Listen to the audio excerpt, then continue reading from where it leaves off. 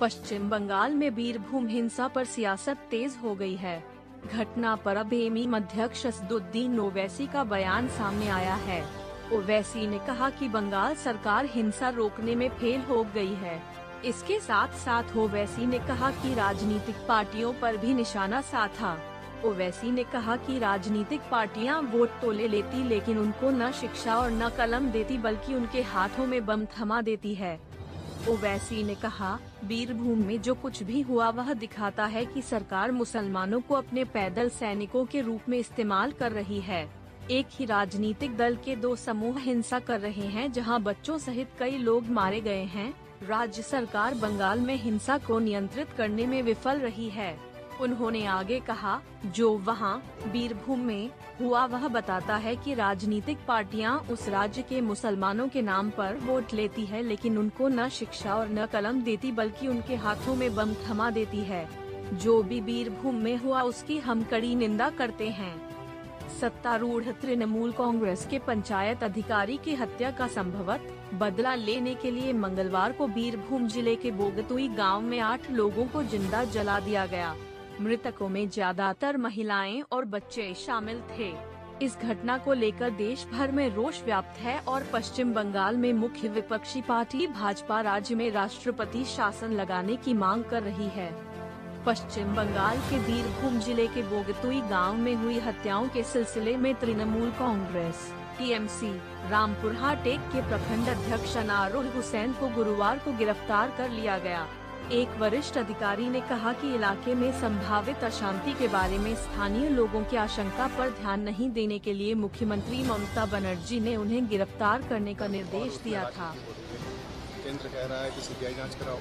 SIT state के लिए बनी है और वो उसकी जाँच कर रही है। अब पार्लियामेंट में है देखिए जो कुछ वहाँ पर हुआ है वो इस बात को दर्शाता है इस बात को बताता है कि चाहे कोई पॉलिटिकल पार्टी हो वो उस स्टेट के, उस प्रदेश के मुसलमानों को अपने फुट सोल्जर्स की तरह इस्तेमाल करती है। वो उनकी, उनके नाम पर वोट तो ले लेती है, मगर उनको अपना फुट सोल्जर्स बनाती है, उनको ना शिक्षा देती, ना कलम देती, बल्कि उनके हाथ में बम देते हैं। और इसीलिए आज आप देख रहे हैं कि बंगाल में एक ही पार्टी के दो ग्रुपों में इतना बड़ा हादसा हुआ। आठ से ज़्यादा लोगों की मौत हुई, जिसमें बच्चे भी मारे गए।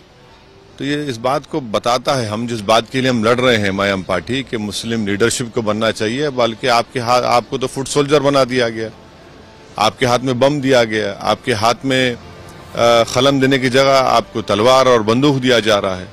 तो इसीलिए हम उम्मीद करते हैं कि जो बंगाल में हुआ है, वो कंडेमनेबल है। स्टेट गवर्नमेंट वहाँ की उस वायलेंस को कंट्रोल करने में नाकाम साबित हुई और पूरा देश जानता है, लोग जानते हैं कि वो एक सैंड माफिया और ये तमाम इलीगल एक्टिविटीज़ का एक झगड़ा है।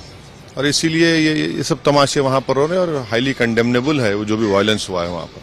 आपको ऐसा लगता है कि जिस तरीके से वहाँ गवर्नर स्टेटमेंट देते हैं उनको ये बनाया जाता है कि वो बीजेपी का एजेंडा चला रहे हैं? या फिर जिस तरीके से एक स्टेट देखिए वो गवर, गवर्नर साहब को अपनी गवर्नर की ड्यूटीज़ करने की ज़रूरत है।